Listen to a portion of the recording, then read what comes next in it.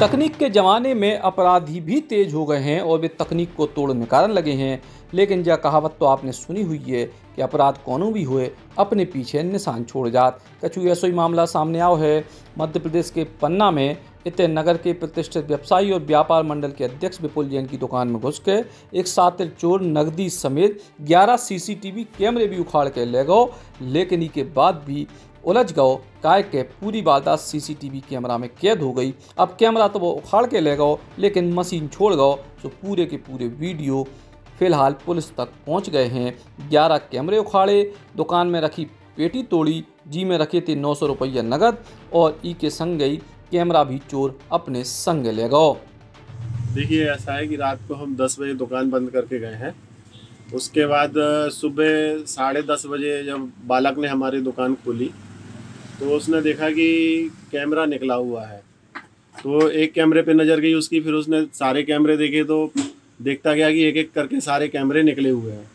उसने फिर मेरे को फ़ोन किया।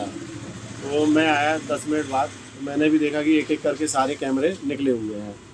तो अ, उसके बाद फिर मैंने हंड्रेड डायल को फ़ोन किया। उसके बाद टीआई साहब को फ़ोन किया। तो उन्होंने भेजे पुलिस भेजे और अ, सारी पुलिस वालों ने आके चेकिंग की। करीब 11 कैमरे लगे हुए थे 12 कैमरे लगे हुए थे जिसमें एक सड़क वाला छोड़ के ग्यारह कैमरे वो उखाड़ के ले गया और गुल्लक से नौ सौ रुपये निकाल के ले गया। कितनी देर करीब यहाँ पे रहा है दुकान में वो? देखिए उसकी फुटेज की रिकॉर्डिंग मैंने सुबह जब देखी तो उसमें लगभग तीन से चार घंटे अंदर रहा है। करीब साढ़े बारह बजे उसकी फुटेज मिल रही है आने की और करीब साढ़े तीन बजे तक उसकी पौने चार बजे तक फुटेज है जाने की मतलब चोर बहुत सातिर है उसने सभी कैमरे निकाल लिए ले गया लेकिन वो मशीन के बारे में नहीं जान पाया इसलिए फुटेज उसकी कैमरे हाँ। में कैद हो गई कैमरा वो ले गया है और मुझे तो इंटेंशनली लगता है जैसे वो कैमरा ही निकालने हमारी दुकान आया हो क्योंकि उसको हमें सारे कुछ देखने से ऐसा लगता है उसके हाव भाव देखने से लगता है अ, मैंने जहाँ तक उसकी पूरी रिकॉर्डिंग देखी कि उसने ज़्यादा नहीं कुछ देखा है और कैमरे ही निकालना चालू किया कितने का नुकसान आपको हो गया होगा? मेरे करीब तीस हज़ार रुपये के कैमरे ले गया है और नौ सौ रुपये कैश में। लगातार नगर में चोरियों की वारदात बढ़ रही है और पुलिस से सख्त कार्रवाई को इंतज़ार कर रहे हैं नगरवासी। पन्ना से अमित साहू बुंदेली बौछार किलाने Sri Krishna University Chhatarpur.